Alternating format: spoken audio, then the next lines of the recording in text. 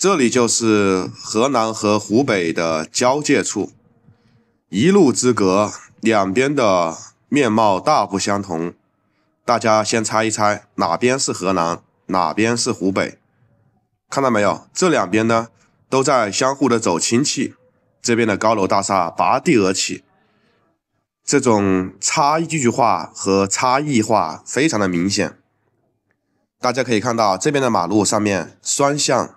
三车道，然后这边的路呢是双向两车道。你知道这边的路啊是一边出一半钱，还是谁出钱修路呢？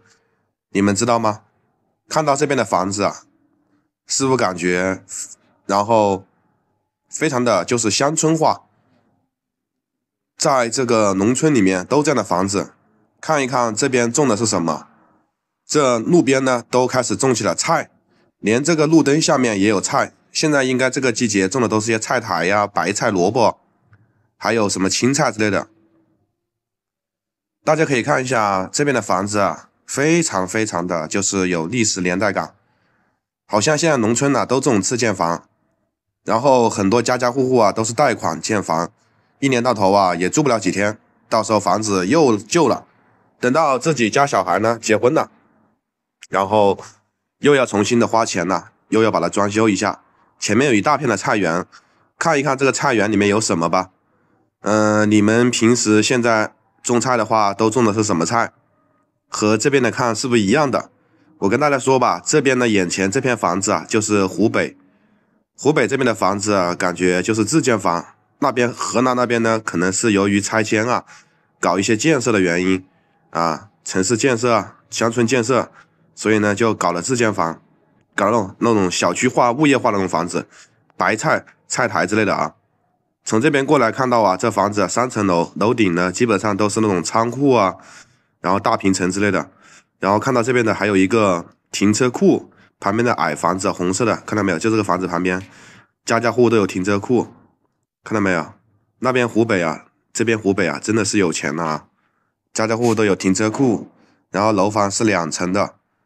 然后这边的树木啊也是非常的高大，这马路虽然说没有像那边的马路啊修的那么漂亮，三车道，但是呢，说实话我感觉这边人呐过得更安逸一点，自给自足，没有什么太大的压力。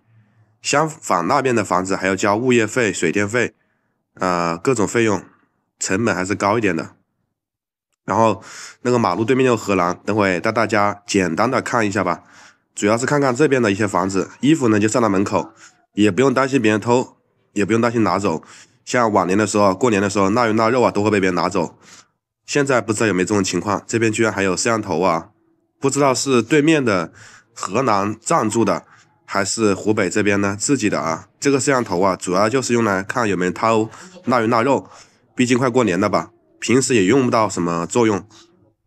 然后那边的房子也是很多门都打开在。看看这边呢，河南这边啊，非常的漂亮，路灯呢是一个比一个高，居然还有斑马线。然后这边可以看到好多这样的啊，这种就不是自建房了，这就是呃房企啊，然后开发商啊所打造的。这边还有防盗网，里面树啊都种在这个家里面。然后这边呢，就是看到马路边也一样种了菜，虽然都住上了高楼大厦。但是那种种菜的习惯还是没有变的，自给自足。然后这边的菜好像都被吃光了，看到没有？这地上种的都什么菜？萝卜，这个应该是萝卜，我记得很清楚。你们感觉这两边的房子是不是感觉差异化非常大呢？本期就分享到这里吧。